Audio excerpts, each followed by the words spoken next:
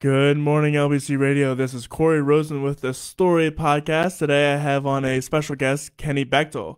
K.A. Bechtel is a self published author on Amazon who loves to analyze stories, write fiction, and to think deeply about his faith.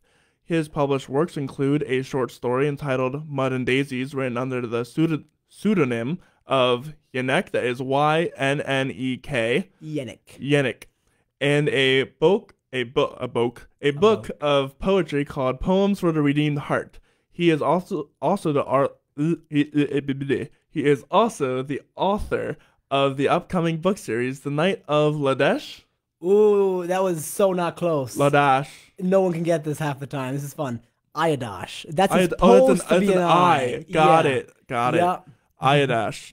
Uh, when he is not writing, he enjoys watching movies with his friends and obsessing over a variety of other nerdy hobbies. You can find his work at these places. He has a website, www.kabechtel, that is K A B as in boy, E as in elephant, C as in Charlie, H as in Harold, T as in telephone, E as in elephant again, L as in lion.com. You can find him on Facebook at Yen- Ynnek.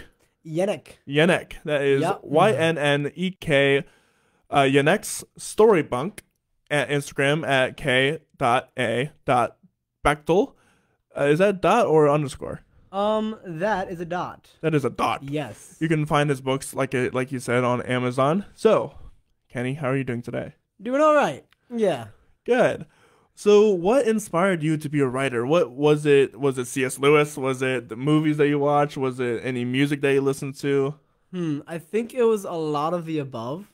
Um. So, I wasn't always gonna be a writer, but my mind as a child was endlessly imaginative, and uh, you know when you're a kid and you tell stories nonstop, um, you do it just for fun. But eventually, I was thinking, I could probably, you know, write some of these stories Mm. um, and actually tell some of them. So kind of what happened was, uh, throughout high school, middle school, I started to write poetry and things like that, um, just for fun or just to emote or anything like that. Mm. Um, and uh, yeah, I, I started that way. Um, I had thousands upon thousands of ideas in my head. Um, would doodle during class. You Mhm. know, uh, that never stopped, even in college. Um, but uh, um, yeah, lots lots of doing that. And then one day, it didn't happen all at once, but over time, I gradually started thinking, I think I kind of want to be a writer. Mm. Uh, so took a class on creative writing um, and decided that I was going to try my hand at it. And uh, here I am. I'm uh, in the beginning stages of uh, authorship. I don't know what you call it. That sounds cool.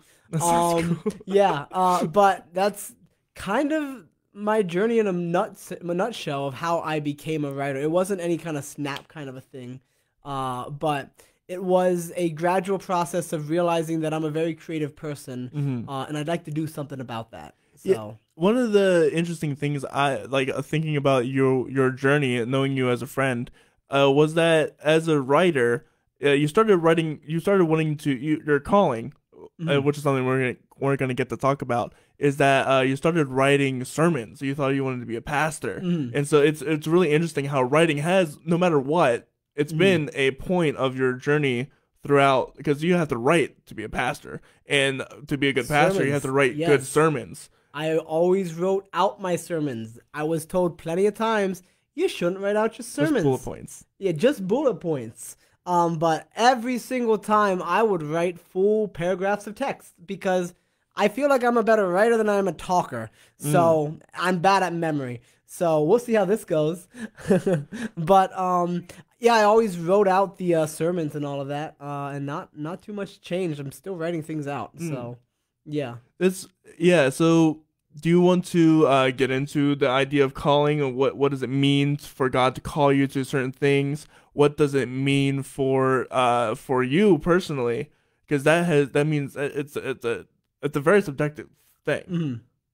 Yes. So you do you want me to jump right into the calling section? Let's do it. Okay, let's jump into it. Calling. What is a calling?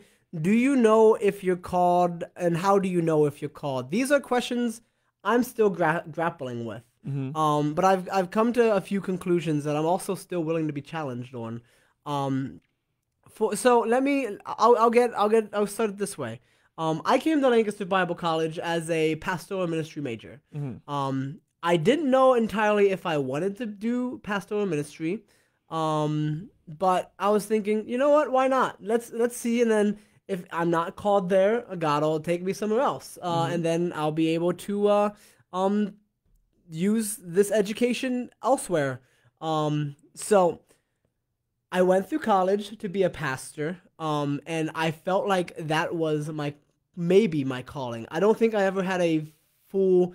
I feel like I am totally one hundred percent called to be a pastor. Mm. Um, but I've always I have the gift of preaching.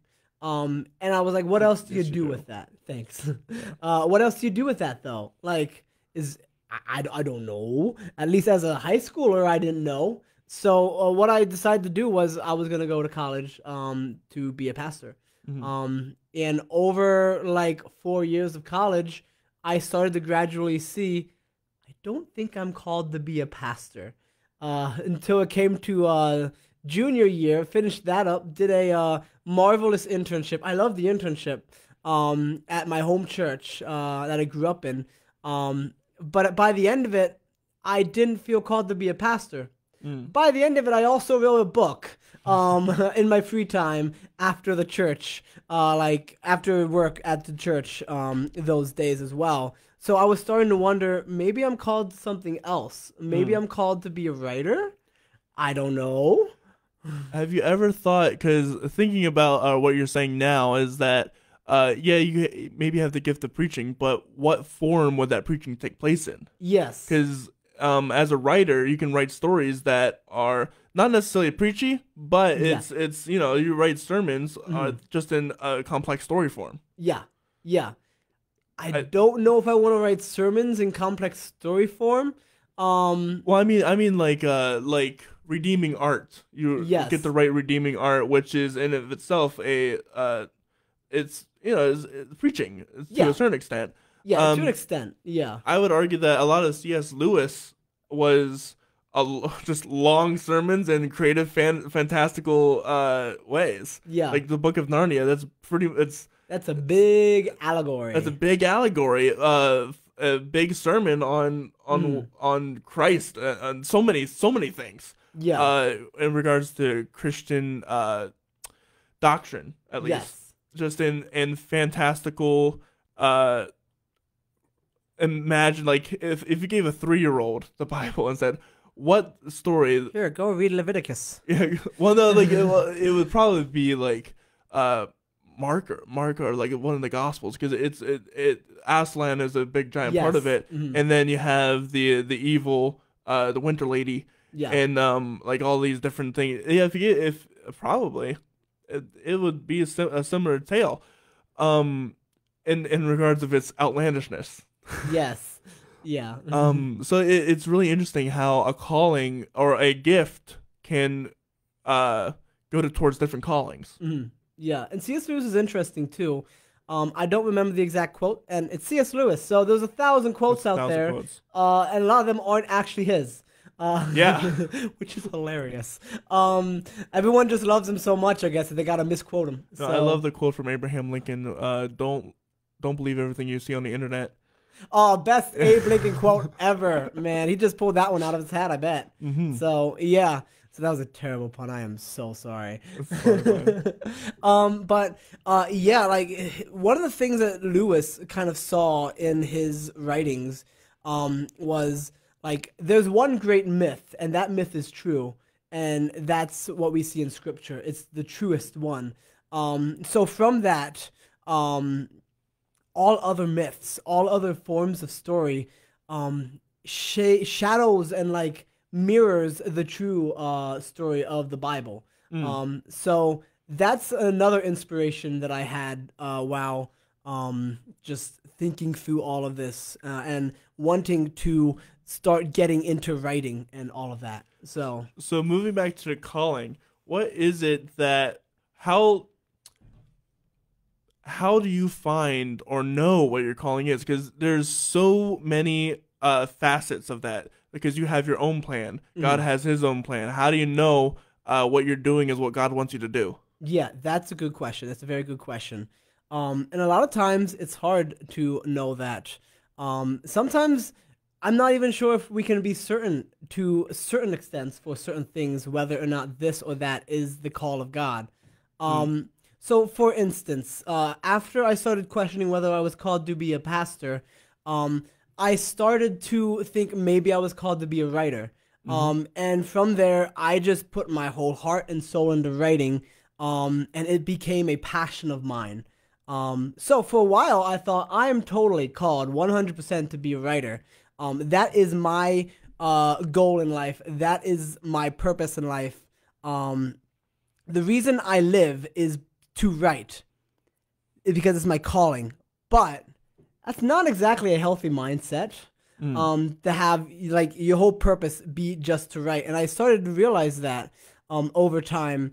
Um, and I started to question because I was doing the same thing. Okay, now I'm questioning because you know if you're a writer, um, and it might be the same with like composing music or anything else like um that's creative. You question yourself all the time. Yes. Um, is this good enough? And if this isn't good enough, am I good enough? Yes. Why do we as artistic people do this? I don't know. Uh, It's it's a lot of self torture if we're being quite honest. it is. Yes, it's terrible. Uh, so we all got to do better at that, guys. Um, but yeah, so I started questioning those kind of things, and then of course you question, am I called to be a writer now? And so I went through this whole crisis of sorts of like, okay, I'm not called to be a pastor. What am I doing? I went to college for this degree, paid all that money for this degree, still still am. Um, and like, what am I gonna do with this? Uh, so I put my heart and soul into writing, and then the question is, okay, if I put my heart and soul into this, what if this also isn't what I'm called to be? Um, but recently I've been thinking through these questions, and I've been trying to think through it biblically. Um, at one point I was thinking, oh, there's no such thing as a calling. Um, I think that's a little bit overkill. Yeah, a little um, that's the oh no, I'm doomed kind of mentality. Um, but I think there is, and I think that that calling is found in uh um the book of Genesis, um where God basically tells Adam and Eve, uh, multiply and build, create. So like, and both of those can be done various ways. I mean, multiply, obviously, you know, you can get married, have kids. Uh, you can share the gospel with people. Um, you can do all sorts of things. Um, You do, build You can do math. math. Multiply. Ah, that's- okay, that's that. I'm giving you that one. Oh my goodness, what terrible. Love it though. yeah, you can do math. There you go.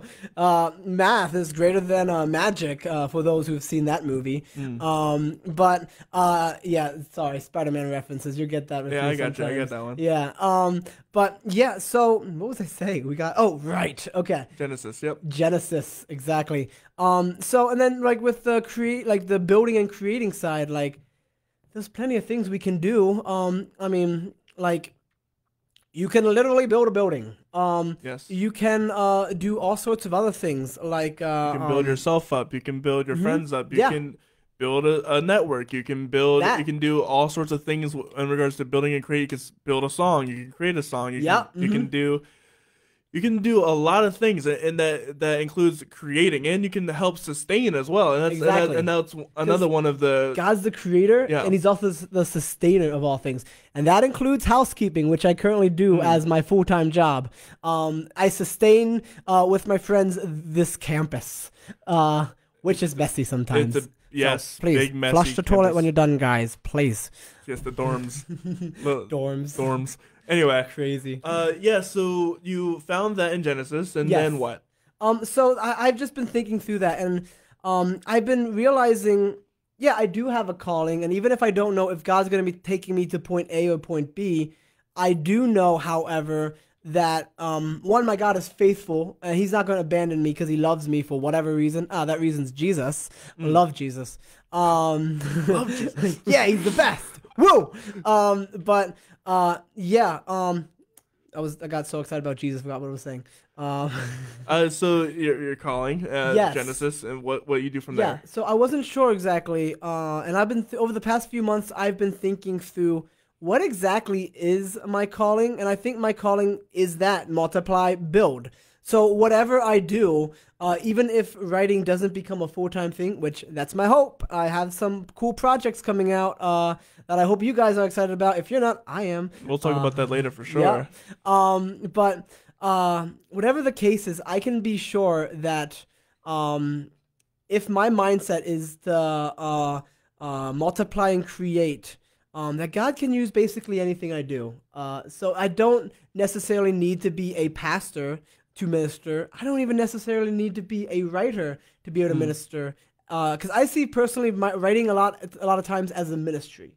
Um, So ultimately that's that's my thoughts on calling uh, and i'm willing to be challenged by people on that i do believe there are certain things like people are uh, called to be a pastor um, but even then i've seen pastors who choose to leave the church in good terms um, because they don't feel called to be a pastor anymore or there's something else so i think a lot of times what we're called to is where god puts us Yeah, it's it's really interesting because I do believe that calling does change and evolve over time. Uh, so it's it's been really interesting. Uh, for me when I was a child, I I, I felt like I was being called to being a scientist, a, a zookeeper is what I wanted to be specifically. Because I just I love animals. I still love animals, and I just want to take care of animals. And I was very much all about animals and all about science too. But then uh, when my mother passed, uh, she was a scientist. I, I grew this OCD like behavior uh, towards science where I can't touch anything related to science or, or I feel dirty, quote unquote. Um, and so that just really just shoved me into doing because the only thing I, I, I did outside of science was music. So it, it just shoved me into music and it's it's interesting. Sometimes callings are very obvious, and sometimes they're not obvious at all. Because, um, for example, last night it, it was pretty obvious that God did not want me watching TV, doing my computer, or anything because it all just kept shutting off repeatedly, over and over That again. yeah, the technology is just being stupid. Yep. So I was like, you know what? Fine, I'll go to bed. How about that? and then I went to bed. So it's it's really funny how uh, calling can it's it's never concrete yeah and it's not obvious all the time. There's a lot of prayer that goes into it. There's a lot of uh, self reflection that goes into it. There's a lot of reading the Bible that goes Yes. into it to figure out exactly what it is or what lights a fire in my soul when whenever I read a certain passage.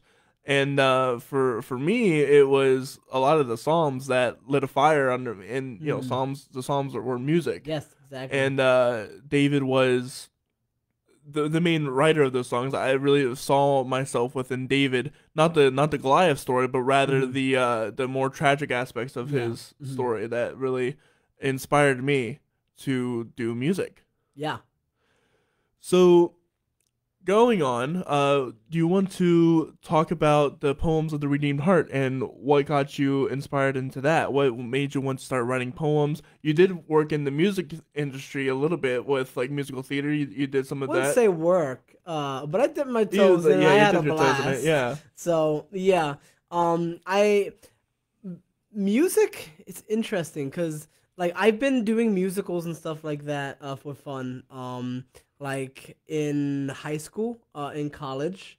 Uh, but before then, I did not do any music stuff. Uh, this is hilarious because I don't even know what grade it was. It was it was in elementary school. Um, we were singing some sad song or something, and little Kenny was like, "Eh, "This is sad." So I just like randomly started crying uh, during uh, whatever you call it um, during the music. Um, During the we were concert? yeah, the concert. We were supposed to be singing. I was crying, and since then I'm like, I'm never going to sing in front of people ever again. Um, so then I decided uh, somewhere in high school, um, because they did a Beauty and the Beast, and that was amazing. And I was like, you know what? I, I think I might actually like to do a musical or something. You went to Hempfield, right? no, I went to Northern Lebanon. Oh no, We got tractors. we got tractors. Yeah. It- it's that was uh, a thing growing up. Um, uh, for city folk, uh, people sometimes drive their tractors to school. yep. hmm and it's really funny. It is. It- it's cool. Just park a tractor. yeah. yeah. It's kind of cool though. It's like at least you're being unique. Right. It's You know, like, if you who- have a tractor, who's got the not? best car? It's like there's a tractor, there's a Yeah. there's a pickup truck, there's a you Yeah. know, Yes. Yeah. Uh, but I had a lot of fun. Um, we had an awesome uh, music teacher, uh, Mrs. Master. She was awesome. Uh, so shout out to her. Um, but yeah, so I was like, okay, cool. I'm gonna do some uh, um, the play. I don't sing in a play, right? So I did a play. I go for a small part. Um, I get a medium-sized part with a lot of talking, cast as the dad character who gets to yell and bang his head off Yes. the piano. So much fun. Uh, that was the man who came to dinner. Uh, and then the next year it was uh, um, uh, Arsenic and Old Lace, and uh, I got to be uh, Teddy Brewster, who thought he was Theodore Roosevelt and yelled "Charge" all the time. So much fun. So I I have a and then you know I was in uh um, Mary Poppins Mary here Poppins here. as Mr. Banks. Uh, oh no, you were no, the bank teller. not You were the bank good. teller. No, you I were the bank teller. cha- uh, teller. Uh, yeah. Ruining the bank is Yes, still one of my favorite yes. lines ever. Um, I was uh, um, uh, oh, what was what was the other ones? We I did. know this. There was there was Ruth. We we did. Uh, you were you weren't in. I you was were in Ruth. you were in Ruth. yes. Ruth. Ruth. Um, Sight and Sounds. Uh, yes. Uh, that was that was amazing. Um, yeah, that one. Uh, Sign sound that we we performed it here at LBC, not at Sight and Sound. Yeah, and it was like the first time. The first uh, time, yeah, the first Sight and Sounds property and all that. Yeah, that we was. LBC got the chance to produce the first Sight and Sound production that was not performed at a Sight and Sound location. Yeah, and it was so sweet too, because Mr. Felty let me uh, uh teach the devotionals. And yeah, that's Man, what I that- remember. yeah, I was bitter at that time because of the whole calling thing and all, Mhm. um, and like a whole lot of stuff, and just being able to teach those and see how uh, um, Naomi goes from being empty the fool was powerful in my life. Mm. So thank you, Mr. Felty, uh, for letting me teach that. Um, uh, so that was that was fun. Ruth was fun. Um, I was the character Reuven. Um, there was uh, in Bye Bye Birdie, I was like the mayor character. Mm. Uh, that was a fun one. Oh, what was the other one? Um, oh yeah, it was uh, Hello Dolly. Yes, Hello, hello right. Dolly. That was a fun one. Um, and I was uh, the old guy at the. I was the judge. Um, I forget what I said in that one. Uh, but it was fun. I wore a wig, a big curly wig. It was great. So, uh, how do you does does that translate into you wanting to do poems more like structured? Because music is poetry. Yeah, yeah, a, a little bit. Um, so I started writing poetry around middle grade a lot during uh um uh like high school and college. Um, so I can vividly remember me sitting in the back of like the music room uh, in high school on this little like black rocking well it's it's a normal like computer chair Mhm. but the wheels are missing so i use it as a nice little ground rocking chair just writing poems and things like that on my off time um being around music uh, and being in like that environment definitely helped a lot of the words be more um lyrical i think Mhm. um i don't have any music my my my expertise is not in writing music or anything like Right. that um so i don't even try that but i try to write uh, poetry um but yeah, doing uh, musicals helped a lot um, to be able to help me to become a better uh, poet. Um, but for me, a lot of times, like, like with this book, um, a lot of times it was just me kind of sitting, uh, thinking through something in the Bible or thinking through something in my life, um, and like trying to convey emotion and feeling and uh, truth as well. I'm putting all those together on the page um, and just trying to communicate through poem. Uh, and that's kind of that's kind of where these all this poetry came from, um, if that makes sense. So so it's a it's a collection of multiple years of Yeah. poetry. Yes. Gotcha. This was not written in the day. Uh, this book it was written Oh. in about. I mean, no book written. I was, I was about to say. what I tried, uh, um, but um, not written in the day. It was written over like maybe somewhere between six to eight years. Uh, some of some of the poems you read in this book came from might be one or two middle school Kenny ones, uh, but a lot of them are high school Kenny or college Kenny poems. Mm. Um, so I don't know if I can pinpoint when I wrote this or that, um, or even the stories behind half of them. Um, but Yeah, it, this was a work of multiple years. Um, it was not written overnight. Uh, I just started to slowly make sure that I like con- collected all of the uh, different poems I did. So, what was it like to uh, put it all together? Oh. the publishing process is annoying. I, I don't doubt that. yeah, so writing is so much fun. I could do it all day. Um, but uh, the whole publishing process is very annoying. So my first book wasn't Poems for the Redeemed Heart. It was Mud and Daisies. I went under the pseudonym of Ynnek, which is Kenny spelled backwards, because I thought that was cool for whatever reason. Um, it's not. Um, K.A. Bechtel's way more professional. It, it, yes. I'm glad I decided to switch that. Um, but it was fun while it was. Um, I still got to rebrand some of my website and all that.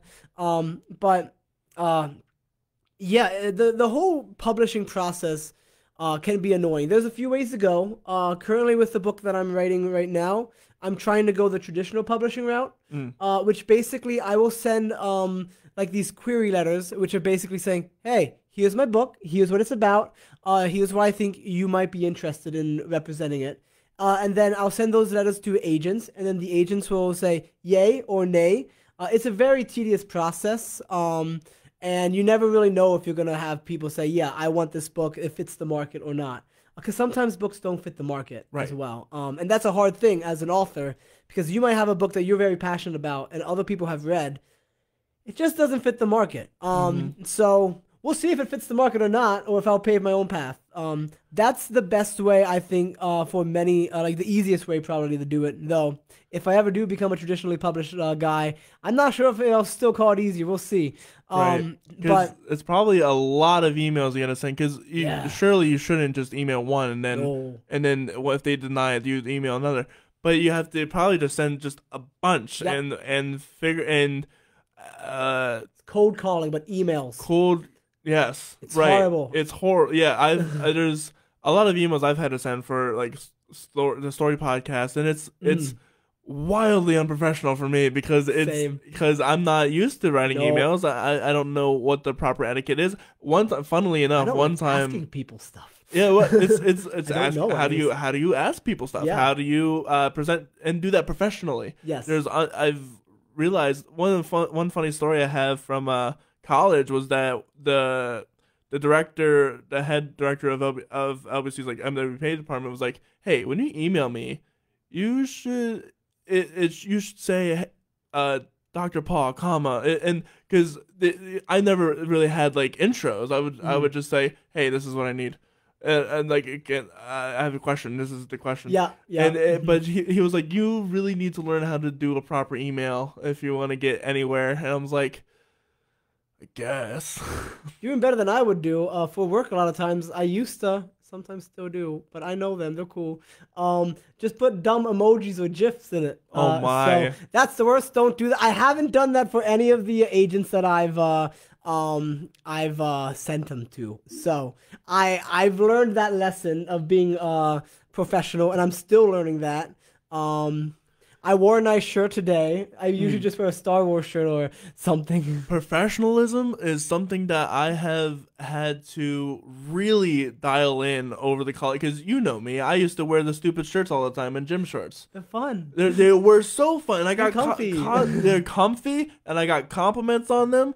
But um, it, it would always give me weird looks when I would ever like go into like the professional setting. I didn't have uh any dress shirts. This is Mm. actually a dress shirt from like uh I had four years ago that I I just randomly found and it surprisingly still fits. So uh, I I and all the newer dress shirts. I, have you seen me wear my newer dress shirts? I might have. I don't know. Um, I it's funny. I bought those two years ago to impress a girl, and uh, they didn't fit me at all because you know sizes are weird when you Yeah. order them from like Amazon or Yep. whatever, Dressly, whatever. But now it's surprisingly they fit me and they work really well. It's good. So it's it's professionalism is definitely uh, something you have to think about within the music realm, and and you have to realize that you have to dress for the occasion. Yeah. Because there are times where you can wear silly shirts, and that's totally fine. And that's actually what's preferred. If if you wear a suit or a dress shirt, you're going to be out of place at, Mhm. at some of these places.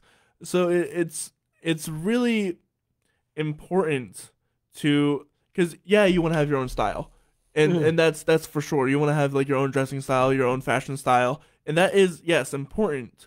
But also, you need to be a you have to work within the system you're in. Yeah.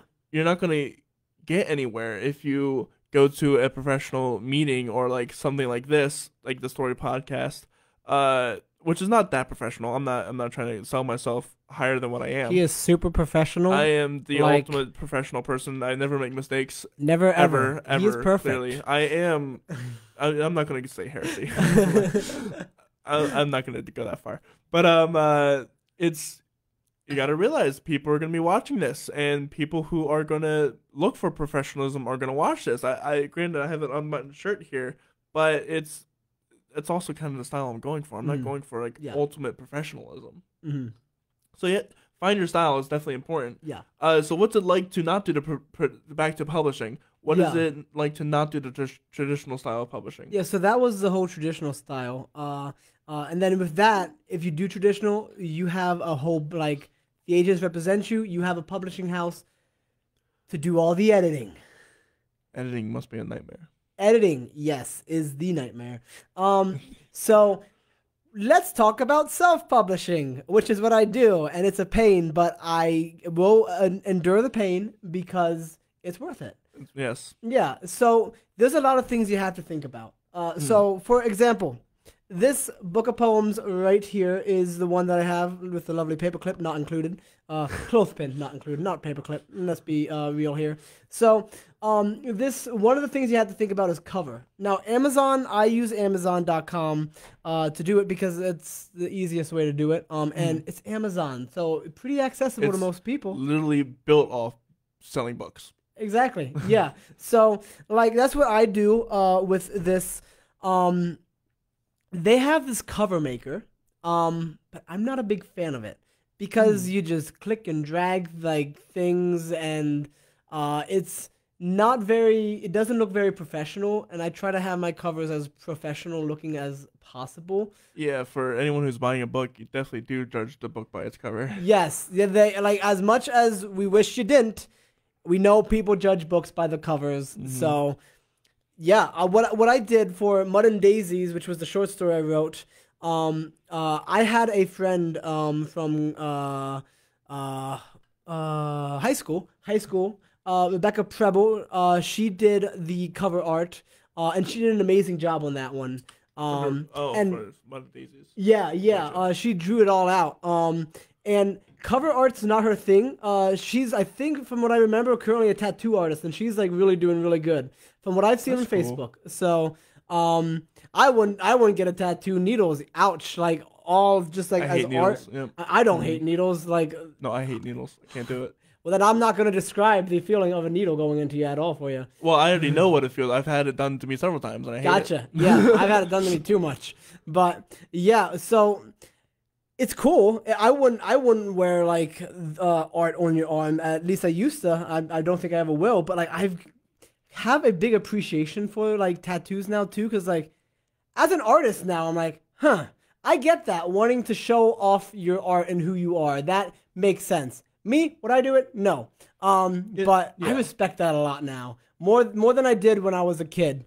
Um, because Yeah, you have biases as a kid. Yeah, there's It's definitely weird. well, there's a Christian stigma against that know, as it's well. dumb. It's uh, there are some scriptures, valid scriptures Yeah. that that do like don't mark your body or Yeah. stuff like that. and I I see those in an old covenant kind Yeah. of text. Yes, that's So, that's exactly yeah. that's exactly the point. It's like Exactly. it's it's in the, it's in the old covenant, not the new covenant. Yeah. Uh, so it's it, it's it, but yeah, a tattoo artist and to have the capability to draw something on a human with it looking good. yeah, I know. It's pretty impressive, It's isn't no, one of my best friends, uh, Cody Kilburn. I'm gonna have him on next Monday, actually.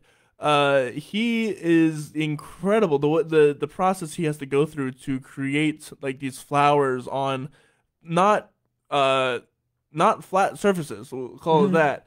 Um, it's incredible? Yeah. to to do it and to manage people like wiggling and pain Oh and, goodness. and like writhing in pain Yeah. because people don't realize how because you know there's different sensitive areas of, of the body Yeah. uh, your Mhm. arm isn't as sensitive as maybe your face or your neck or what or whatever Yeah. uh i and your fingers especially Um, Yes. to have to the amount of talent is Yeah. incredible. But for cover art, Yeah, so she did the cover art for that.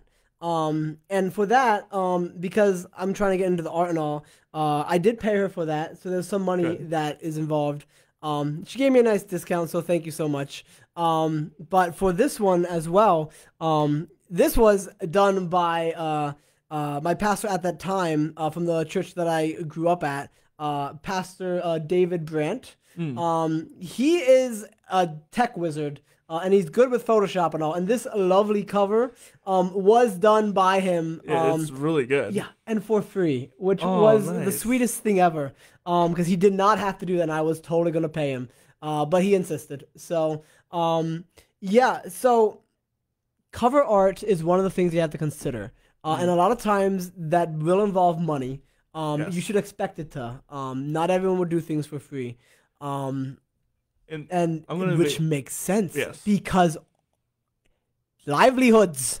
yeah, to make a point on that, um, there's I'm not selling my books for free. Yeah, right. Exactly. yeah, it, it's it's for like cover art for for for my uh I did I did my logo myself, but Yeah. I'm gonna it, it's it can be done better. Uh, tha- that's Mhm. what I'm gonna say. Uh, and I'm gonna have it done better by uh some friends of mine and and uh I'm always an advocate for paying your friends Yep. uh because first off it's supporting them like yeah Mm. they'll do it for free but also i'm gonna i'm gonna pay you regardless because i, I think you deserve it and um and uh so that's that's my thought process and Yeah. finding people to do your art i think it's so much better like, yeah you can go on fiverr and Mhm. find somebody who'll do a great job or you know the person, but you know the them. person and exactly. and it's it's a much cleaner process of Yeah. like hey i want this changed a little bit can you do that Mhm. and because someone someone that you don't know is gonna be like it's gonna get annoyed and never Yeah. work for you again but a friend maybe maybe also a little slightly annoyed they're your friend you know Mhm. they're gonna they're gonna support you and it's it's supporting you know it's it's community that's what it is. yeah, exactly. so if you ever have to have somebody do a cover art even ask some of your friends hey do you know anybody that does this Hmm. I, my, one of my best friends in the entire world she went to a, a uh, art college in philly and I, i'm always asking her hey do any of your friends know because chances are I, i've i've met them as well Mhm. but i'd love to give them work because you know they're struggling college students Yeah. and college students definitely need money Yeah, they do. so I, i'd love to support them Yeah. Yeah, and I think a lot of times art is community. Like Mhm. um art isn't just made in a vacuum, it's made with and around people. yeah. Um no matter how you look at it cuz like like I said with this cover art uh, for both of those books, um it's a community kind of a thing where I need to ask for help with this and be willing to pay, uh, expect to pay and want to Expect to pay, pay, yep. even um yeah yeah yeah wanting to pay is- exactly. yes. Um like so i need help with that. I can't do it. So someone else is gonna have to do that uh and uh really be able to carry that section and then editing um i do a lot of the editing myself story wise or even like for the poems um just like okay does this make sense kind of a thing like Uh, formatting too probably, formatting. yeah. I'm not the best at grammar. Um, so for both of the two books that I've published so far, uh, one of the ladies from the church that I grew up at, her name's Betty. Uh, Betty Herb, you're amazing. Um, she like edited like crazy these two books and found all the grammar errors. Um, and like it's it's solid. Like it's really good. Um, and I was I was blessed by that. Uh, and the funny thing is, like, she wasn't a big fan. Like, it wasn't her. Mud and Daisies is not her style of story. Mm. Um, and that's that's okay. Um, but she was willing to edit that. Now she loved the poem book. That was her style. Um, but the willingness to edit that was so great. So what was so far? Let's summarize what we've got. Is we've got cover. We've got I have to make edits. We've got someone else is gonna come he- in here and make edits. Um, then if we're talking about the books that I'm currently writing, um, I want people because it's a narrative, a big narrative, uh, a branching narrative. I want to make sure it makes sense. The characters make sense. That um, they're pushing the plot forward. Things like that. Just create interest for the next book Exactly. Yeah. hmm Um, but I have my friends read it. Um, I have Mm. different people read it uh, that are interested in the genre, or interested in what I'm writing, uh, and then they give me feedback of Kenny, this is great. I love this. Kenny, this doesn't make sense. Uh, what are you doing here? Oh, well, try it this way. Huh?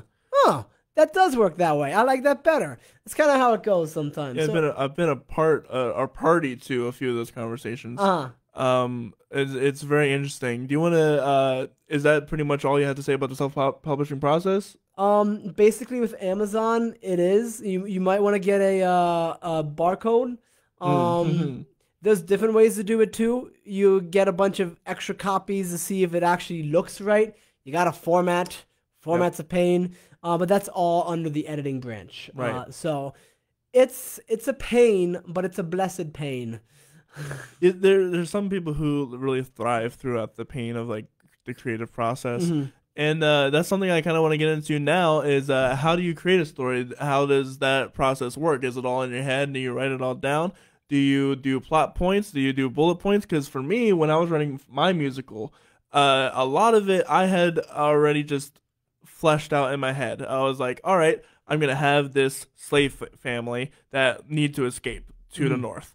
All right, so how does that happen? I've I, I start listing out my characters and figuring out the relationships between them, and then I slowly just did plot point by plot point, and I started interconnecting the characters because I thought that was way more fun than just not. Yeah. And then uh, so I, I it was literally lines like, all right, Savannah goes here and tells this, and then all right, next and next what happens? It this happens next. It it was a way more detailed than just like plot point, plot Mhm. point, plot point. But it was it was it was basically a uh you, you like like an action list Yes. a list of actions and then Yes. from then on I, I did dialogue and then uh just expanded it more and more and then from there from the dialogue i did the music and uh through that process what is it like for you The process of writing. That's that's a good question. I've tried it a few times. Uh, I'm going. I'm going to. But I'm thinking through this. I'm going to think through this in the terms of the book that's not yet released, The Knight of Iaddash. Um, without giving any, away any spoilers, of course, because I want you guys to be able to enjoy that uh, when you get it. Um, but I'm gonna think through the process of writing that because that was a pretty expansive one um, compared to what I've already uh, written so far. Um, with that one, I thought of the idea up when I was in high school, doodling uh, doodles in Spanish class, um, thinking very C.S. Lewisy, like, oh, I would like to have this knight with this powerful armor kind of a thing. Now, a lot of the powerful armor stuff has disappeared, but there is one thing in it, a powerful sword. Um, so while while I'm thinking through all of these things, I had that idea, um, and I just continued to think through it. Um, I will open up a sketchbook. I will doodle these characters so that I can. For some reason, for me, writing and drawing is connected. Uh, granted, I'm not the best uh, like artist, um, but like it helps me think through some things. So I'll doodle these characters. Um, this is how this character looks. This is how that character looks. Um, I'll try to do the background sometimes, not great at backgrounds. Uh, so I will doodle things. I will think through things, and then I start making like outlines and stuff like that. And a lot of times these are just bullet points. Like, I think it would be cool if this character did this, or I think it would be cool if this character did that.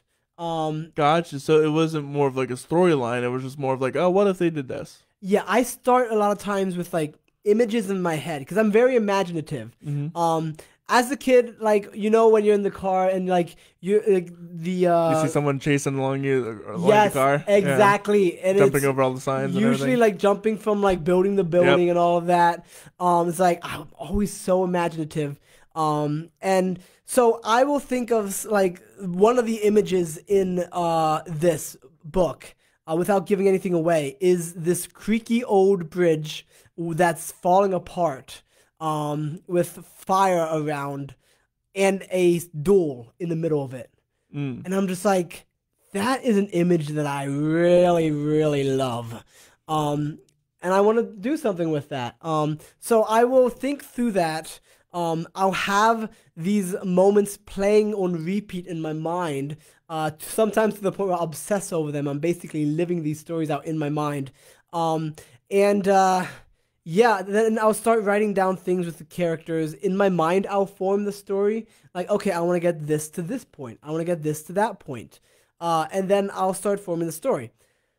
So I will usually what I like to do is like a paragraph, like a small, maybe not a paragraph, like smaller paragraphs, um, like a, not even scene sometimes. Sometimes it's scene, sometimes it's moment by moment. It's depending how vivid it is. Mm-hmm. Um, uh, sort of outline of the book. So like I know with um the the Knight of Iaddash, um that's maybe I have like a three page outline that's been edited a bazillion times. Um, for the first and for the second one because it's a two part series with room to expand. Um, so I will imagine it first. I will doodle a little bit uh, during the whole process. Half half the part just for the fun of it, uh, but the other half of part is like it actually helps me think through some things. Um, then I will start with the outlines. Um, and then I'll start attempting some writing uh, things. So I first tried to write the story when I was was in college, uh, maybe freshman, uh, or uh, what's the one after freshman? Sophomore. Sophomore. Yeah. Freshman or sophomore year. I have this version of the story, and this story is a fantasy uh, story as it is now. But at that point, it was some weird fantasy sci fi hybrid that I don't know why I was thinking that was a good idea. Um, it could have worked in certain things, but not that story. Um, so I tried to write it a few times. Uh, eventually, I gave up multiple times. And then I decided I was going to sit down. I did that outline thing. Um, and I, in my mind, I worked it enough in my mind that I'm like, I'm sold. I've sold myself on this story. I've told it to other people. Um, again, community, artist community, and they seem to be vibing with the story. They seem to like it. Uh, so what I do at, then is I decided that I'm gonna sit down and consistently write, and I did that. Um, and then after that, you have a book. but you need to edit the book and go back. So after I have it all written, I do the outline, I get to the writing. You go back, you look at all the things, you see what works, what doesn't vibe with you. Because a lot of times I just go off gut feeling. Um, you need guts and you need logic. They both are important. Um, they both need a balance. Emotion and logic in writing needs a balance in every page. It's, it's a hard act sometimes, but um, I'll go back. I'll see what I think works, what doesn't. Um, and then yeah, I'll just make edits. Um, I know at one point in, in one of the stories, I felt the one character wasn't pushing it along as much as it should. Uh, so I made some major edits to that, and I love it now. Um, so it's a lot of catching your mistakes as you go, um, taking notes of them, going back. But yeah, I start I start with an idea, an imagination, um, and then an outline, and then I write the full thing. It's it's some people will just write things uh, without an outline. Uh, some people need an outline. I'm a little bit of both. So That's fair. Yeah, I didn't really need an outline. It, it, it kind of, it was kind of almost free flow in some Mhm. aspects. Um, but uh, when I got serious about writing the story, I was like, okay, I have to figure it out. Uh, I got to figure out where it ends, figure out uh different plot points, because you know, a slave family from being enslaved to escaping, that's a lot to happen. yeah.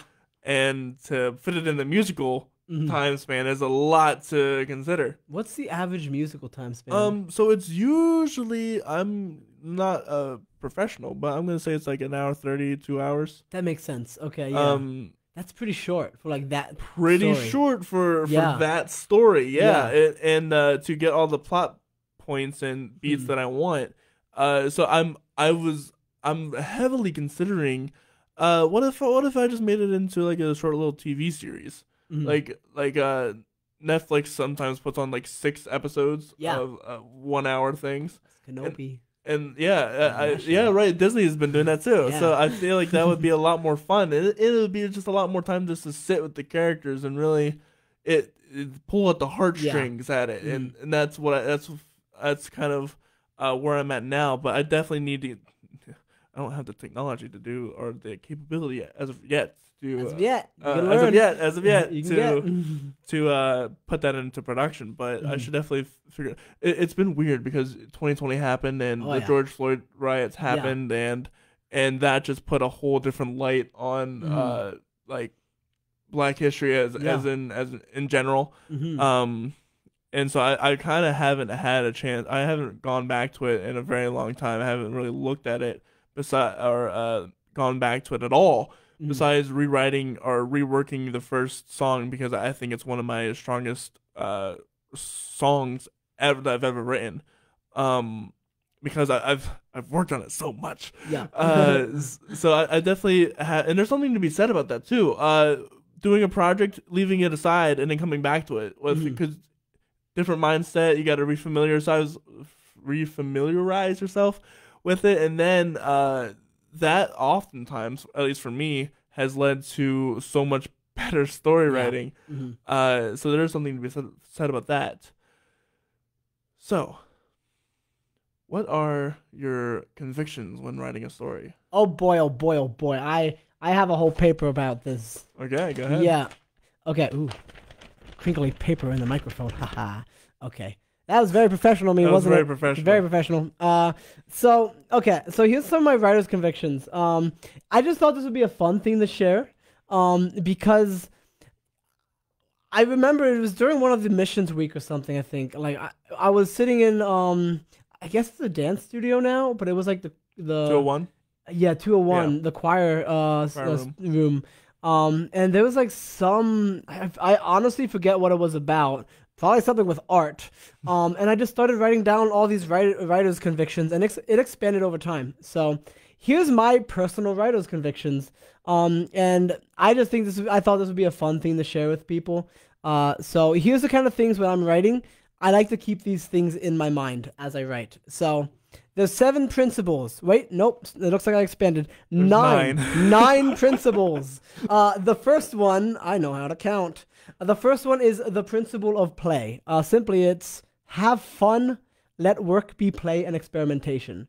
So sometimes I will write, um, and I will just think, okay, I need to get this done. This I can't be bothered to write anymore. yeah, it's like this is not Yep. fun anymore.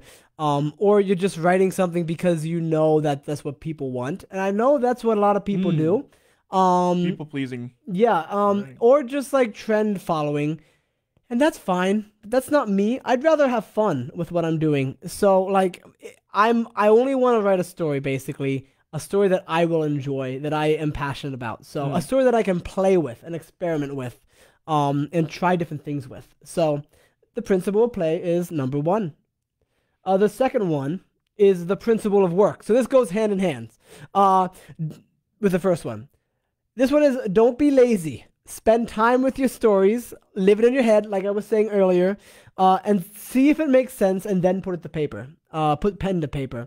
So, with that, on one hand, uh, writing is like play. You get to play in your imaginary sandbox with all your imaginary action figures, and your well, your head's not imaginary.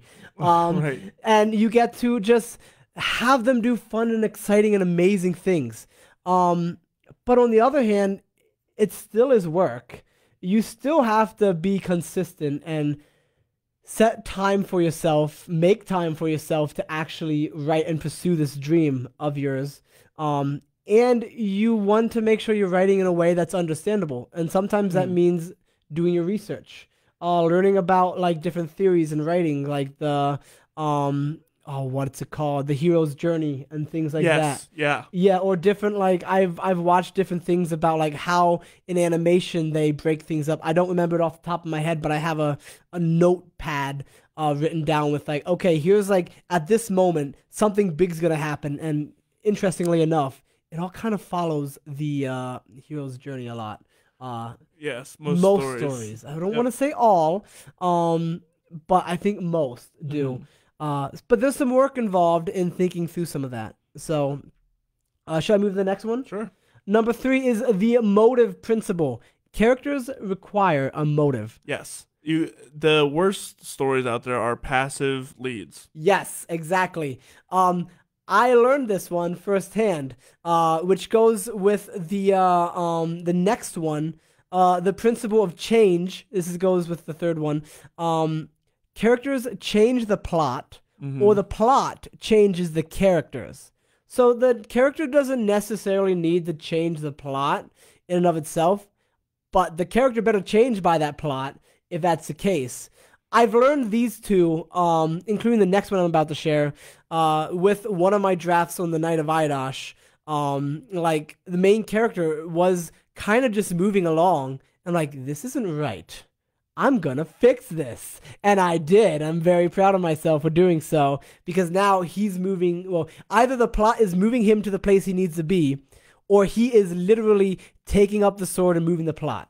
Uh, Yeah. So that's yeah, that very important kind of a stuff. Or else you're gonna just have a static story filled with image that's not gonna be that exciting. Yeah, st- uh, some of the some of the uh, it can be done. yeah.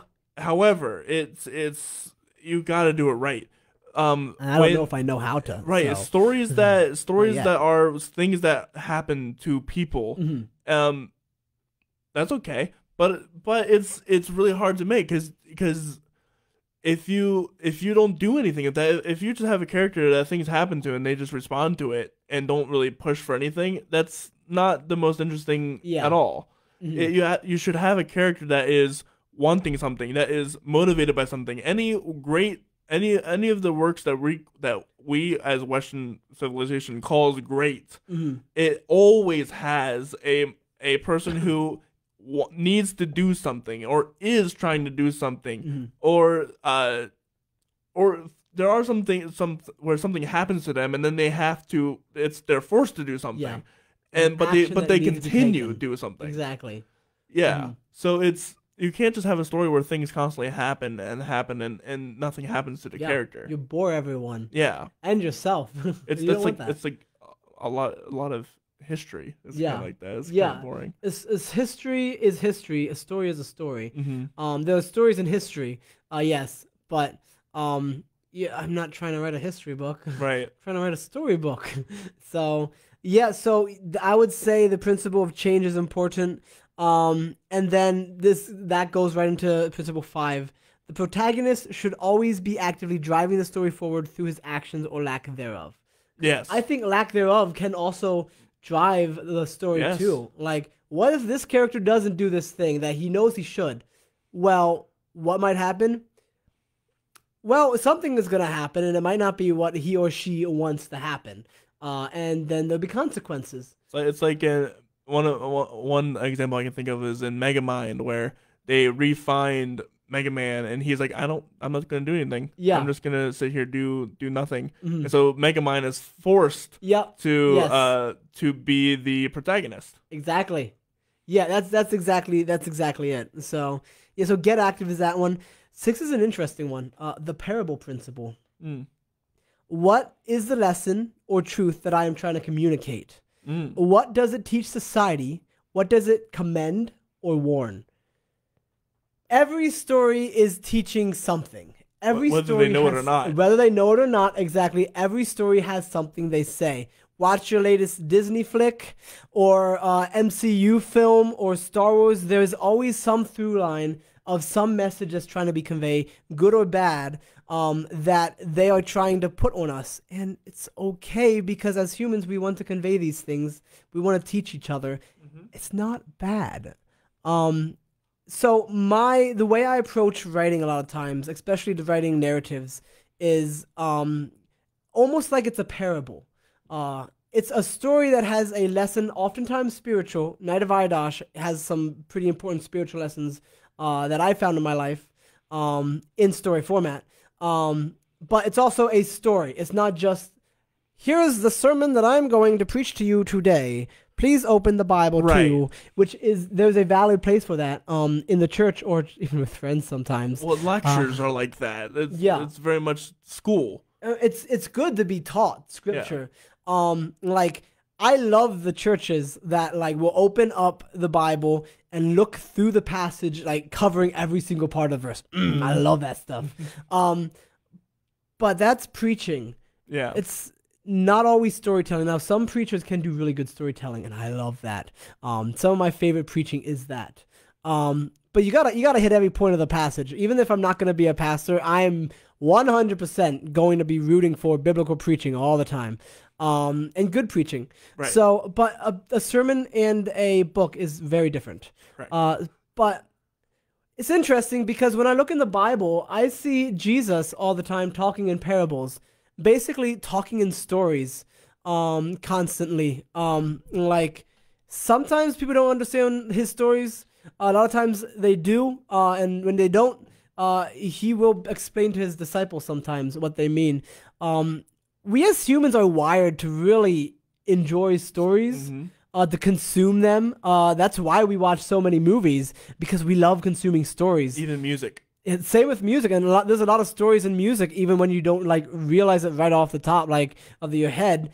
Every song, Every song has a message. yeah, every song has a message or a story behind it, and I think it's the same with uh with uh books. Every uh book has a story behind it. Every story has a message or a meaning um that um has a point for the author. There's some some I don't remember what it's called, but there's there's some sort of uh I've heard people say you can get any kind of a meaning out of a story.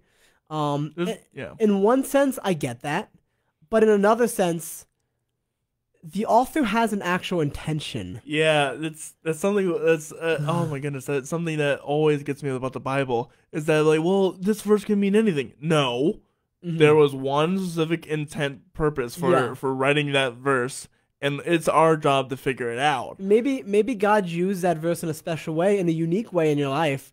Uh, but and or even a movie sometimes not as powerful as scripture, I'd say, um, not by a landslide.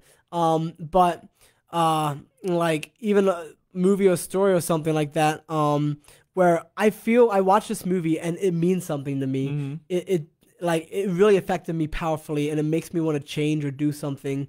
Um, but like at least in scripture, um, and I think in films and uh, stories and books and comics or whatever it be, there is an actual authorial intent. Intent. Uh, you maybe you got something else from out of it, but There's there's an you don't actual intent. don't, Don't miss the context. don't miss don't miss the context, Yeah. and don't uh don't think that your interpretation yeah, is is, the correct one. is the correct Yeah. one. It- and it, there's some people who speak with authority on scripture that may or may not be correct. We'll never know the true Mm-hmm. intent of certain verses until we we get to heaven. we can do uh, our best, and we we, can do our do best. our We best. can, and we're trying to do our best. There's some people who who don't try their best, and yeah. that, those the, it's unfortunate. But um, unless it's abstract art, there's always an intent. Yeah, and even abstract art, like the Sometimes intent is intent. To be abstract. Yeah. so there's there's an intent even behind that. Um, so it's like, I I think everything has like every author has something that he's trying to say. Every storyteller has something that's trying to be said, and there is a definitive meaning uh to it. Um, yeah, it might affect you in different ways, and I think Mhm. that's valid yes. but there's a definitive meaning meaning um and when jesus told his parables he wanted to um get a spiritual point across that they were not going to hear any other way um the pharisees are like is he talking about us Yeah. Wait a uh, wait a minute. we should go kill this guy. I don't like Yeah. him. Um, so like he he he used that. Um, and like things like the whole uh um uh what is it? It's the it's a classic example of a parable. Um, the guy that got beat up on the road. Why am I not The remembering? it? Samaritan. The Samaritan. Good the good Samaritan. Samaritan. The the Jewish people then did not like the Samaritans. Yes. Um, and the Samaritans did not like the Jewish people either. That's right. Um, they if Jesus said, "Yeah, love your neighbor, guys," um, I don't really know. they wouldn't. They wouldn't have applied it to the Good Samaritan. I mean, They Jesus. He could have. He could have made them understood it. Um, But, but, with the story, it really comes through. It's it's the reason why the Gospels are written differently. Mm-hmm. Because uh, I forget exactly which one was written to, to who, but one was written specifically to the Jewish community. Yeah. One was written specifically with the spiritual. no, I Matthew. think Matthew, I think, Matthew. because Matthew emphasizes, I think, the kingship of Jesus. Yeah, the kingship of. Jesus through uh, being by being Jewish. Um, Lu- Mark was very specific. He was just writing to uh, tell a story. Yeah. um Luke or Luke no John was a physician right Mhm. and uh he Wait, no, that was Luke. No, that was was Luke.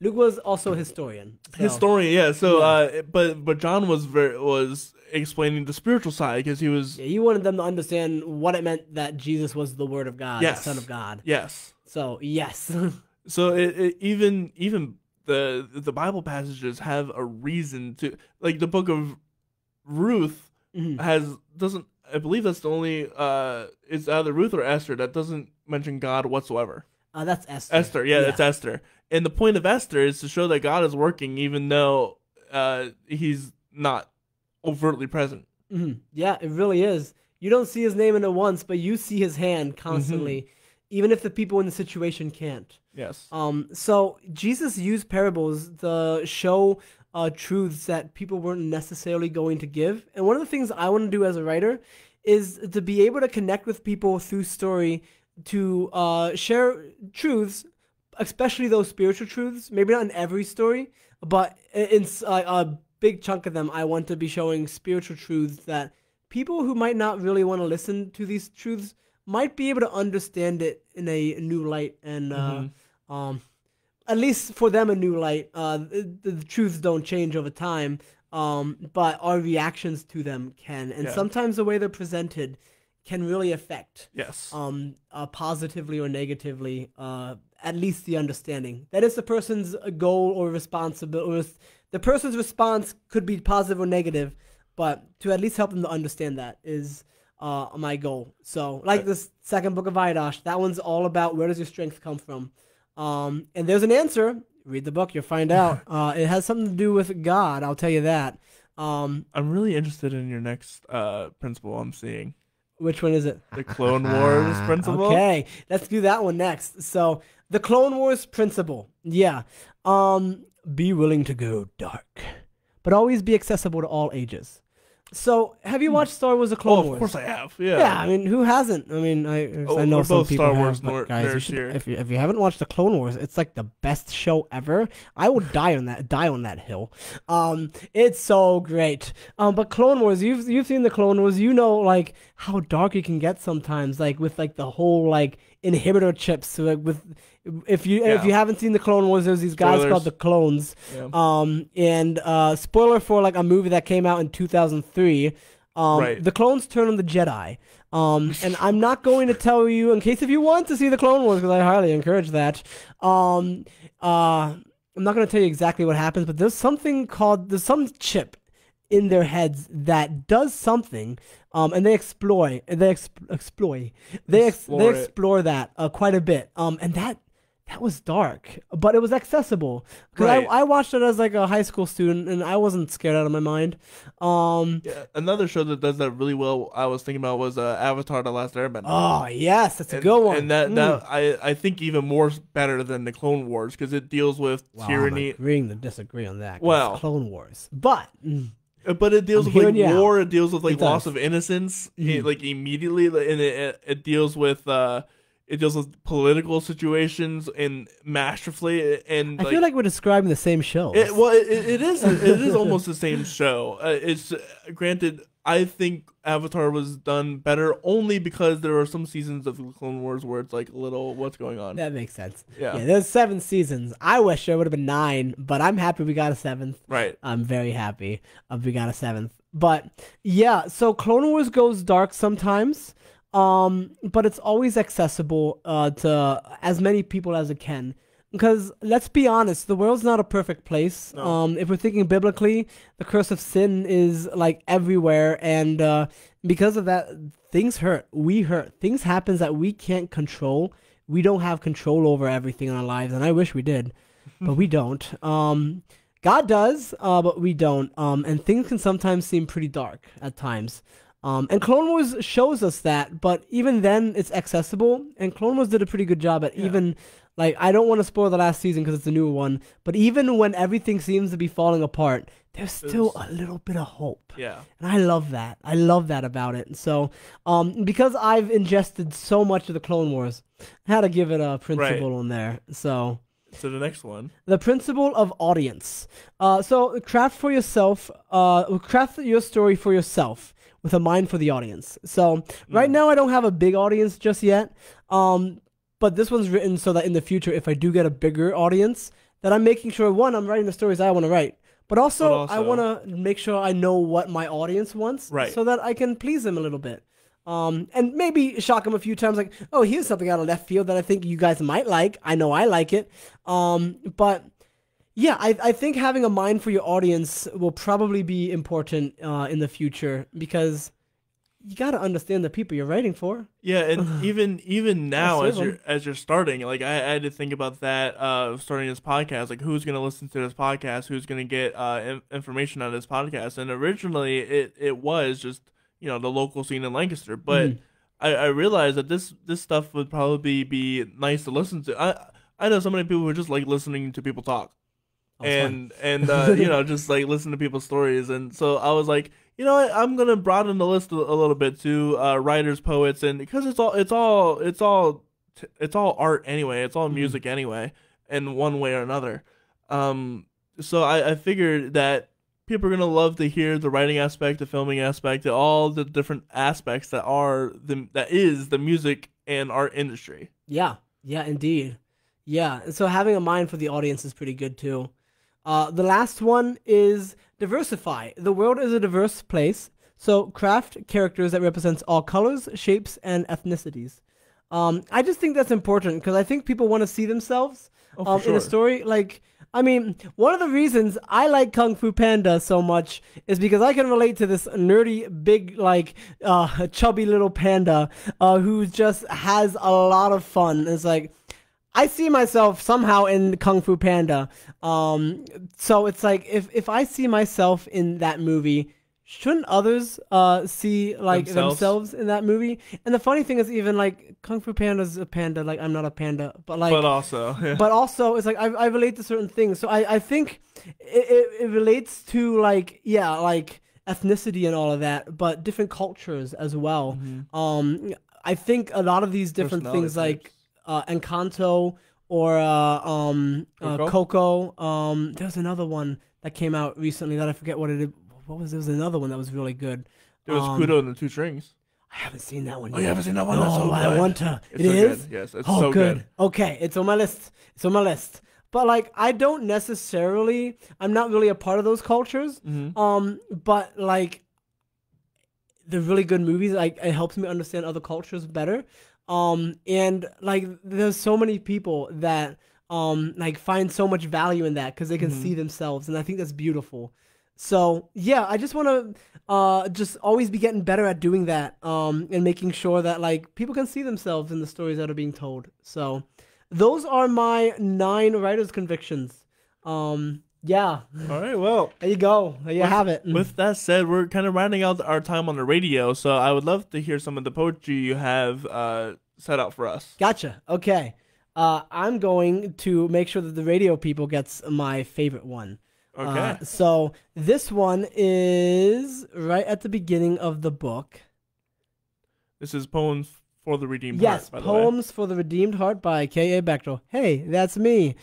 So I know that let's open it up. Um, hmm. How how much time you've got before? Um, we'll do one poem and then and then we'll. Gotcha. Okay. Okay. Um, I'm trying to think if I should read the the foreword to this poem. It's Uh, is it is it what is it? I'm gonna skip it because Okay. it's three pages. Um, oh, we'll talk about it on Facebook Live. there you can go. there. Yeah. Um. So very short. This um is just a look at Jesus uh through the eyes of different people in Scripture. Mm. Um, just a creative look at what different people might have been thinking about him during his ministry. Um, I think that's all you need to know. If you want me to read the foreword afterwards, unless if it's self-explanatory Or itself, you, could buy the book. or you can buy the figure it out book and you'll see it yourself. There you go. Uh, but this is Jesus through the eyes of Jesus through the eyes of the Pharisees. Who does this man think he is to speak against our laws, to call us vipers, hypocrites, on whom God's wrath will fall? Does he not know who we are? We're teachers of God's law. He only says, Listen to them, but be not like them at all. Maybe he has a demon. Maybe he's Satan's spawn. Yet still he keeps proclaiming that he will fulfill the law. He claims to come from God above and blasphemes God's pure name. He says, we will not, he says, and says we will not see God if we don't believe his name. Jesus through the eyes of the poor. Whoever thought a man like this would talk to sinners so? He reaches out to the unclean and makes our bodies whole. The Pharisees say he's a fraud and say that he's possessed. But how can demons raise the dead and give the weary rest? I do not know who he may be. But this one thing I know He welcomes the low and despised, so to Him we will go. To see the captives' bonds released, as sick men's lives as sick men's lives are healed, God's kingdom has been brought to earth. He wipes away our tears. Jesus through the eyes of the disciples. We know he's much more than this. We know he's more than man. He came he claims to come from God above and forgives sinful man. He teaches us, but there's much more that we think he has planned. For we know he's the Christ of God who's come to save this land. Yet where's his army? Where's his sword? The Romans are still here. Mm. He says to love your neighbor and tells us, do not fear. But we just can't shake this feeling that he's got more in store. He speaks of crucifixion and says his death is sure. Jesus through the eyes of the Romans.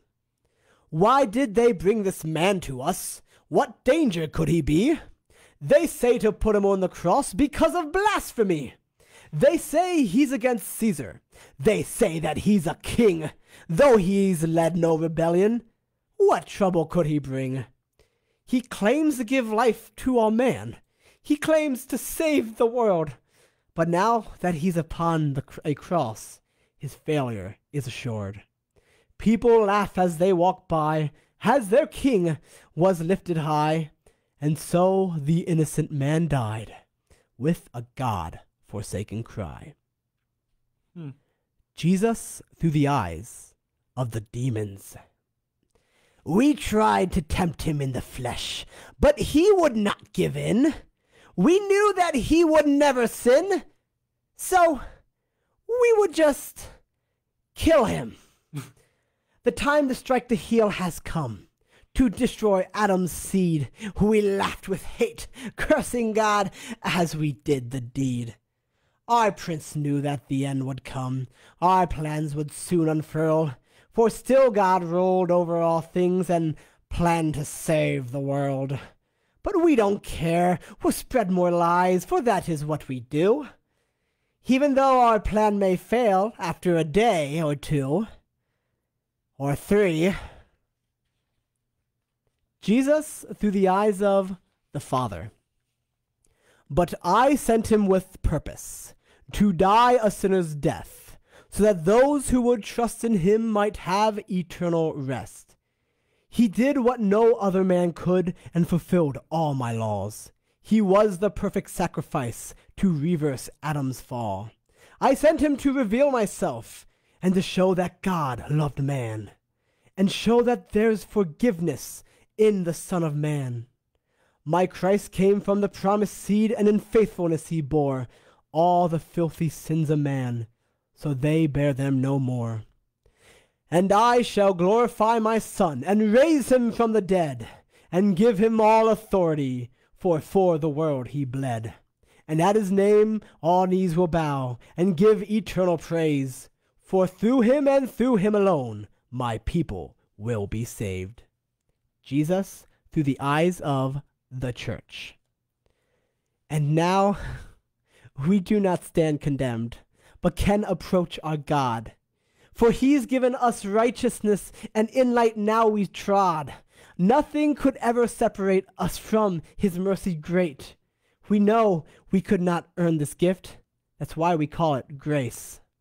And so we sing with outstretched hands and glorify his name for he has given us new life, his people whom he saved.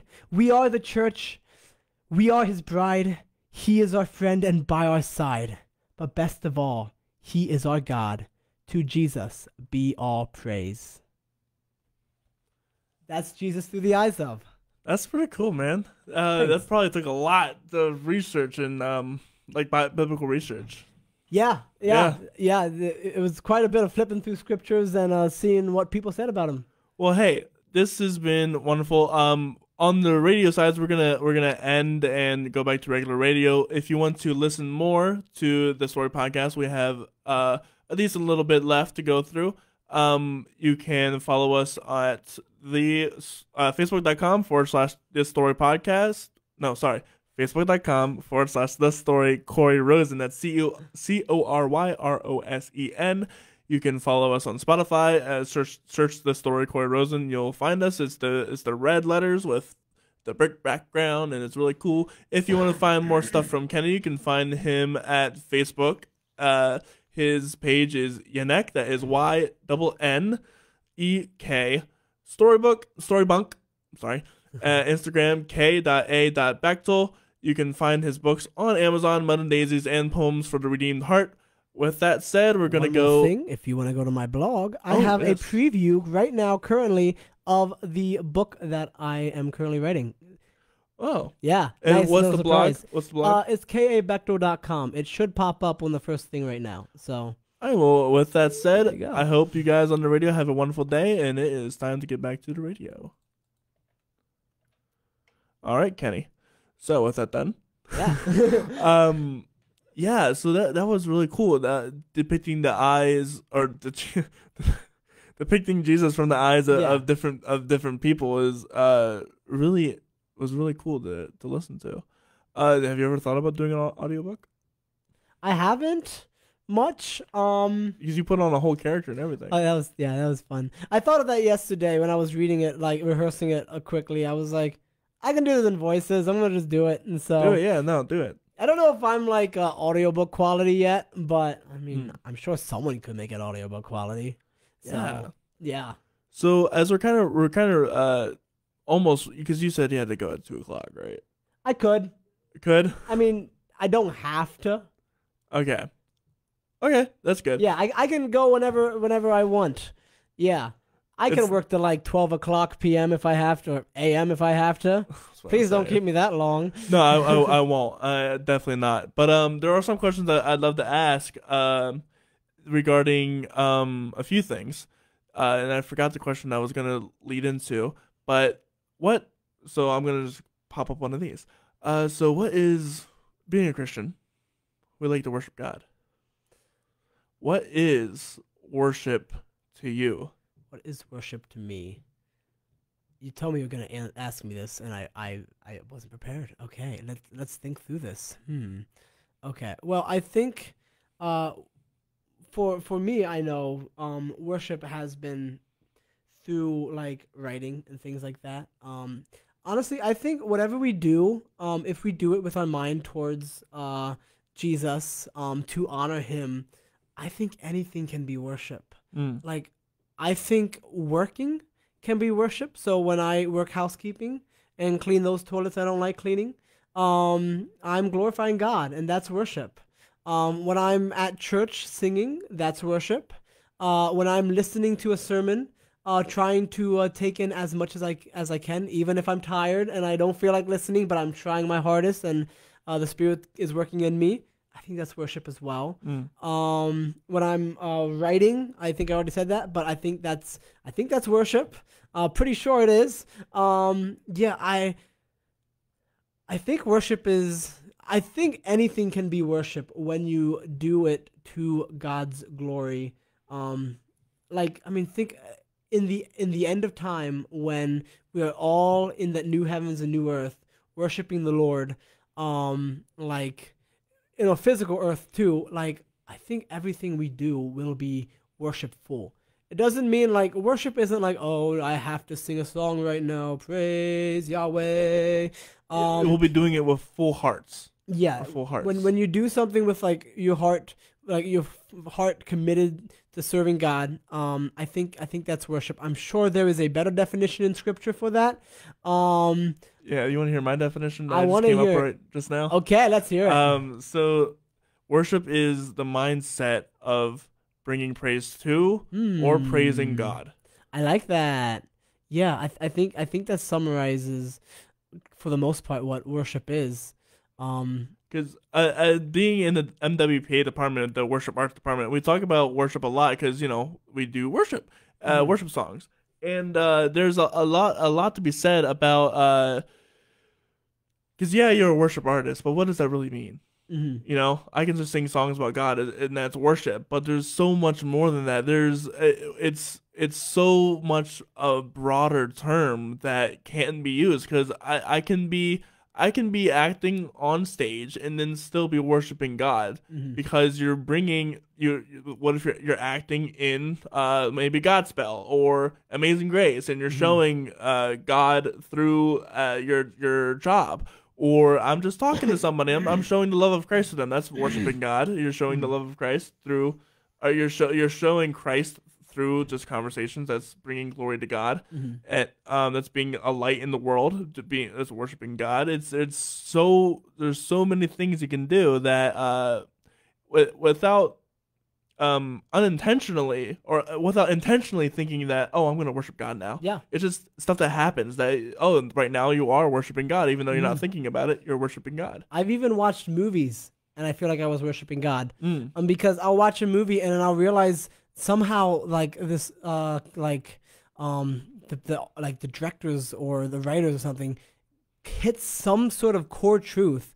They might not even be Chris- Christians, um, but like they hit this core truth that just like, oh, that's biblical. That's pretty accurate. And then I'll see that and I'll be like, oh, sometimes I'll just pause the movie or I'll just in the middle of it, I'm like, wow, God, that is that is true.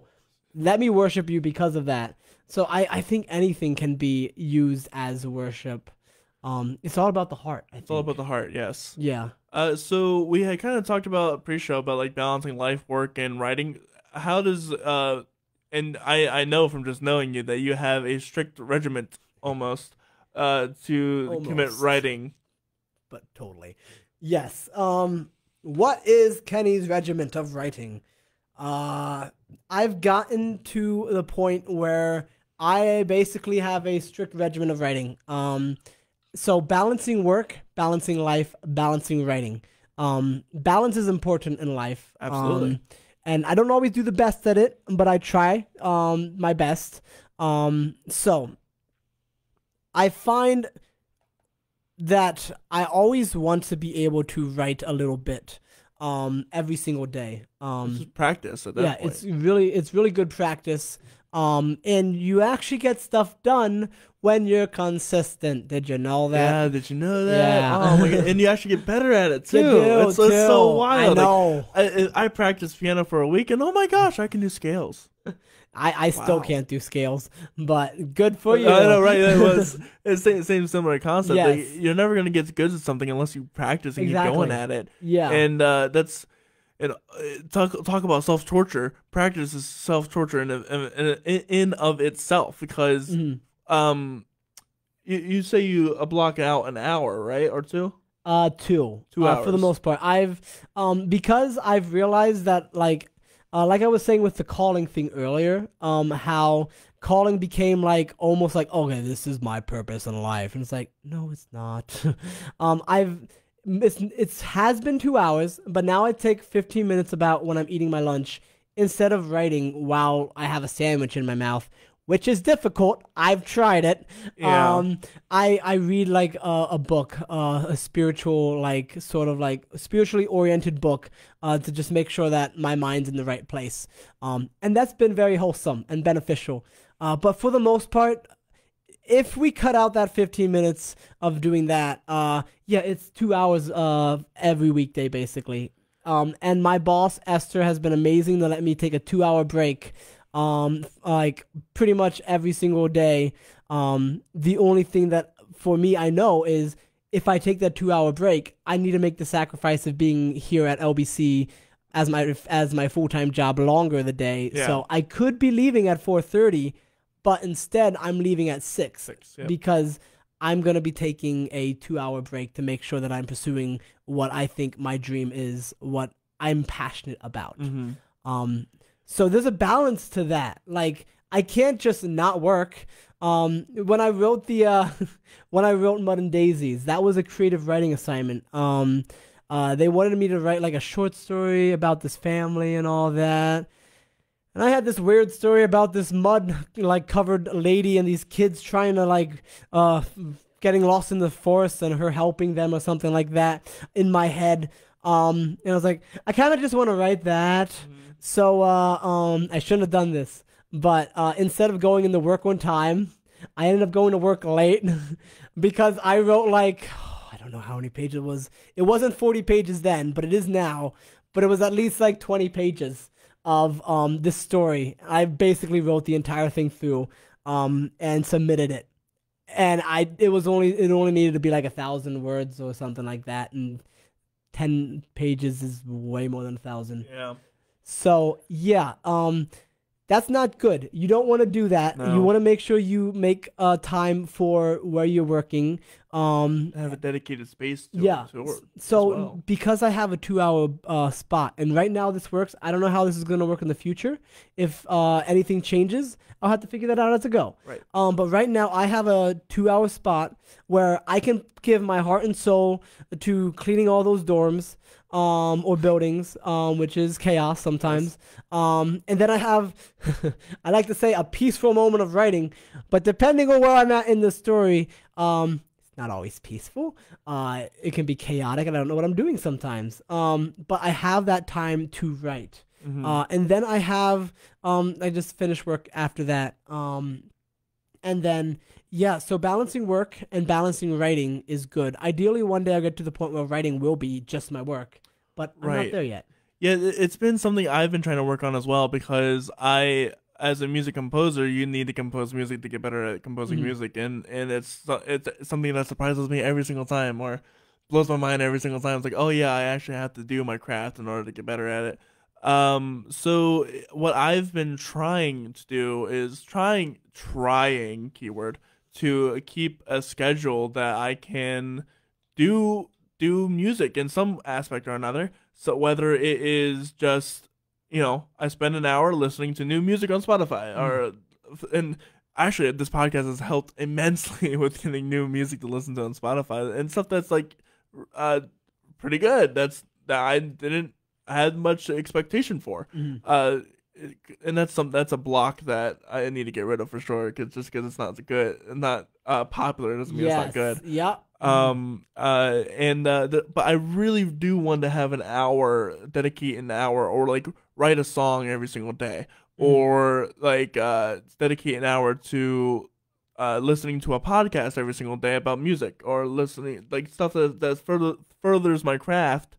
Um. That I can like sit sit down. And I, I already know I, I, I listen to many hours of of news on Yeah. my, one of my favorite news podcasters and I was like, what if I just switched that with like music? Imagine how much Hmm. better I could get. Um, I'd be less informed about the world, so I had to figure that out. But um, It's chaotic. it's ga- yeah, it's a, it's it's a it's a balance for Mhm. sure. But um, yeah, just even if you're like wa- have uh, do music or or something as a hobby, dedicate a little bit of time to it. See where it takes you. Yeah. Yeah, so that's kind of what I did the same thing with uh, writing. So I have that two hour slot. Um, and then when I get home, my. It's not a rule, but I try not to focus too much on writing, except maybe some ideas I have in my head. Mm. um, because I need I need time to rest. Um, God gave us a day of rest for a reason because we need to make sure we're resting. Um, and I mean, rest is all about relying on God too. Uh, there's Yes. that whole theology thing there.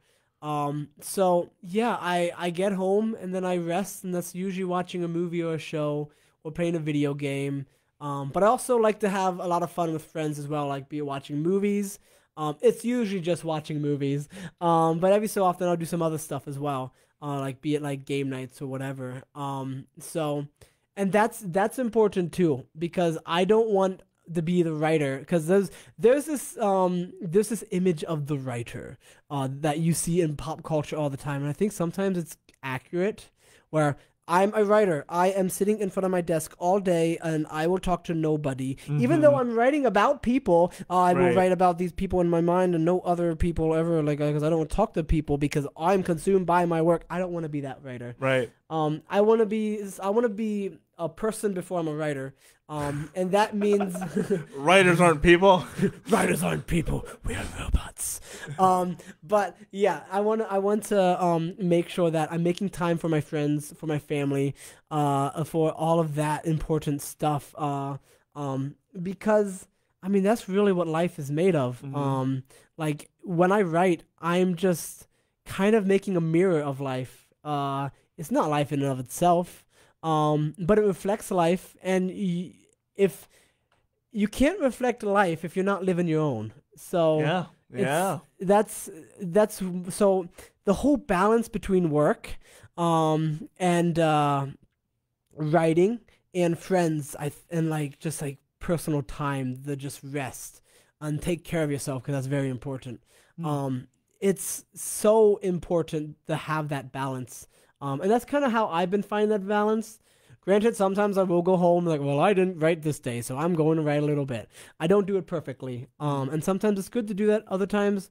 i need some rest so it can look different depending on where you're at in life um but i think finding balance between those three is pretty important Yeah. So, uh, kind of wrapping up, what is one thing that you know now that you had wish you had known when you first started, like writing Hmm. wise? Hmm. Good question. Something that I know now and that I didn't know when I was first. Like writing. any advice that you've been given, any uh specific, uh, like like don't worry about it or Okay, let's see. Um, hmm. I mean, my main advice that I've given myself was like, just do it.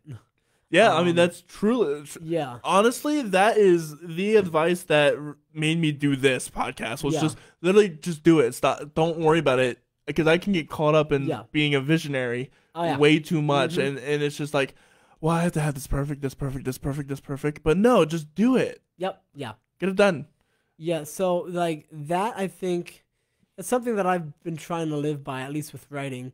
Um just doing it. Um so but as for something like hmm I will say the fact that I've already written like the book of poems, um, which was kind of a collection, um, the short story, and then the two that I'm currently working on now. I didn't see myself getting this f- this far when I first started. Mm. So I think I would say to younger Kenny, as of like three years ago, um, like this, y- you could actually do this. Don't be discouraged. Um, and uh, ah, here it is. Here it is. It's not gonna be perfect the first draft because it takes a lot more than one draft. Like sometimes it takes like five or six. Called the first draft for a reason. Yeah, it, it's the first draft is a lot of times ugly. Um, but you have the building block, blocks usually to Mhm. make something great. So I would tell myself that uh, um, don't aim for perfection right away. I don't even know if you should ever aim for perfection, but aim for your best. Mm. So I I think that's important. So yeah, I would I would say first draft sucks. Um, so just do your best um with that and uh, don't expect it to be perfect right away. You're gonna have to work on it. So that's what I've learned. Um, that I would tell younger Kenny. Mm. If Wow. that makes sense. This has been a lovely day. Mhm. Lovely time. Yeah, dude, this this has been a lot of fun. Yeah. So if you want to find Kenny, you can find him at K. Is it k.a.bechtel.com? Uh, I don't think you can put periods I other don't than the think you can com, either. so yeah, it's so just kabechtel.com. kabechtel.com. Try to rebrand that site. Yeah, so go ahead and check him out there. Check out his books on Amazon, um, and look out for future, uh, fu- uh, his future books that are coming out uh soonish. Um, yeah, soonish, soonish. I don't know when soonish is, uh, but you can be sure that I'm point in the actively working on them. Um, and I have book one and two of the thing I'm working on, Knight of Iaddash, basically written. I'm just doing edits right now. So All right. Well, with that said, this has been the Story Podcast with Cory Rosen. You can find us at facebook.com forward slash the story Cory Rosen or on Spotify and all streaming platforms. Just search the story Cory Rosen. It'll pop up. And with all that said, I hope you guys have a wonderful day and see ya. see ya.